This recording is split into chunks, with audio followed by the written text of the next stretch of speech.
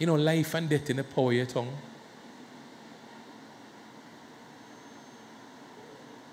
I was watching something the other day with, with some big dogs. And I saw they had this muzzle, this leather muzzle. They strapped the dog on monster, no? Big, powerful. But a man strap on a big muscle, muzzle on him when they carry him to the vet. I've seen him by the vet by Fiona too. And they put a muzzle on the mouth of the dog to keep his mouth from opening. And I wonder how many believers Satan have muzzles on. Hello? Remember, I can't see what you're thinking now. The only thing, the only way I can know what you're struggling with in here is if you open up here and let it out so I can see it. But if this muzzle, when in combustion, Javier, that when the pressure in the engine build up, build up, and in a hand outlet forget out through the muffler. Hello? The pressure inside building up, building up, building up, building up.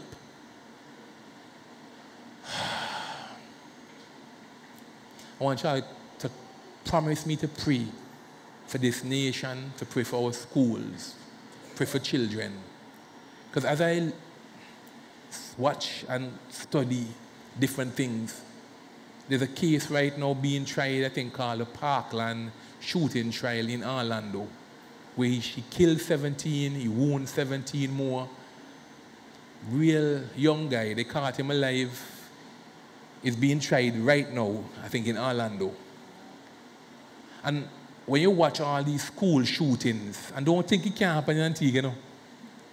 If not for us praying the Javier and going on crying out to God for this nation, no. It can happen right here. And I watch that, I watch parents come up and testify about the phone call they get from the school. Say, hi, what happened? Johnny, if you get the lunch kit, Johnny dead parents talk about empty bed.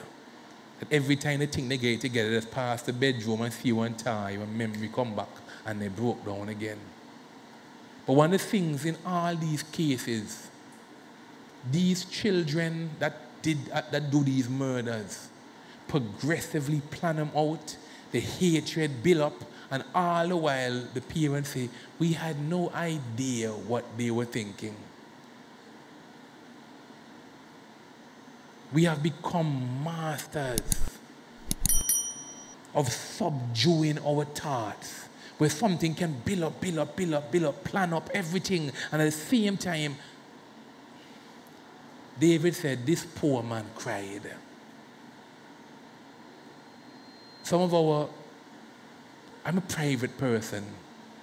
That privacy, and even the past, sometimes people want you to discern if you're spiritual, you're supposed to know what may go through.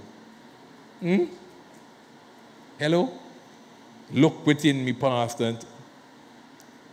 May name God. If you're struggling, say, Pastor, here, I nearly could pray. Right on mine all over the place. If you want to bust my husband's head, but I'm asking the Lord to keep me. Hello?